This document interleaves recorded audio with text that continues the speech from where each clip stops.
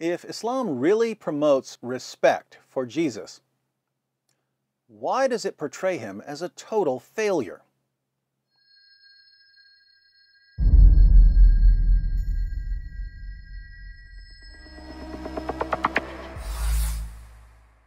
Muslims maintain that Jesus was one of Allah's mightiest prophets, but if we take a closer look at their claims, we can see that if Islam is true, Jesus was the most stupendous failure in the history of the prophets.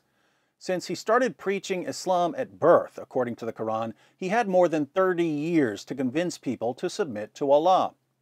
But after his death, the children of Israel were divided into two broad camps. Those who believed his message became Christians, all of whom were guilty of the worst sin imaginable, shirk, or associating a partner with Allah, while those who rejected his message were guilty of rejecting one of Allah's mightiest messengers. So, whether people believed in Jesus or rejected him, they would all ultimately be condemned and cast into the hellfire. Jesus didn't manage to win a single lasting convert to Islam his devout Muslim followers were all led astray. Who led them astray? This is where Muslims like to claim that the Apostle Paul deceived the early Christian community. Notice that this would be an admission that, according to Islam, all the work that Jesus did came crashing down due to corruption.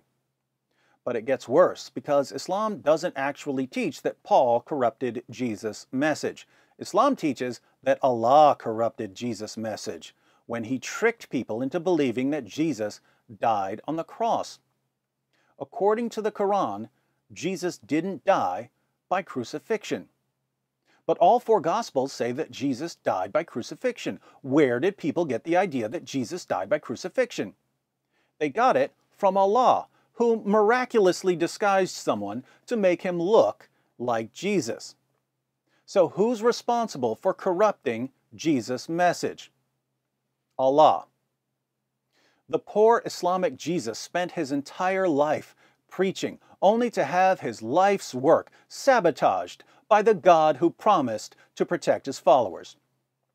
So, according to Islam, Jesus accomplished absolutely nothing of any lasting significance. We have no record of his Muslim disciples or of Jesus preaching anything similar to Islam. The Islamic Jesus was a total failure. And Muslims claim to respect Jesus. What about Paul? Does Paul also insult and degrade Jesus with his message? Not at all. We have a good summary of Paul's view in Philippians 2, where Paul quotes an early Christian hymn. Paul tells the Philippians, in your relationships with one another, have the same mindset as Christ Jesus, who, being in very nature God, did not consider equality with God something to be used to his own advantage. Rather, he made himself nothing by taking the very nature of a servant, being made in human likeness. And being found in appearance as a man, he humbled himself by becoming obedient to death, even death on a cross. Therefore God exalted him to the highest place and gave him the name that is above every name, that at the name of Jesus every knee should bow, in heaven and on earth and under the earth, and every tongue acknowledge that Jesus Christ is Lord, to the glory of God the Father. Paul certainly isn't insulting Jesus here.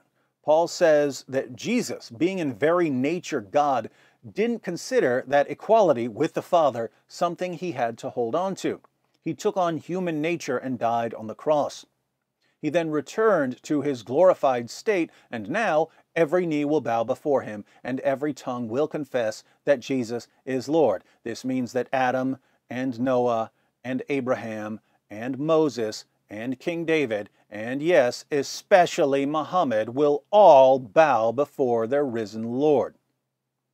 On a related note, since Paul was quoting a first century Christian hymn, we know that the earliest Christians were already singing songs about the deity of Christ and the incarnation.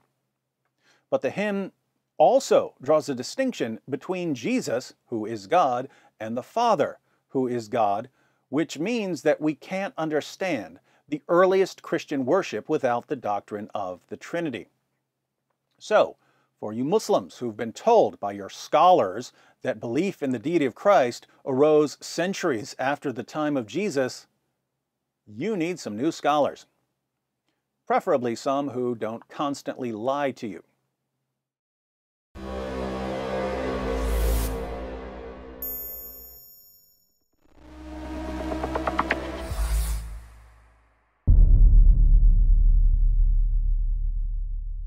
Hi everyone, thanks for watching.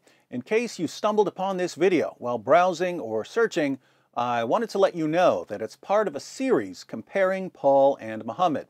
So if you'd like to see the full series, be sure to click on the playlist. If you're already in the playlist, you're about to see how Muhammad's revelations insult God.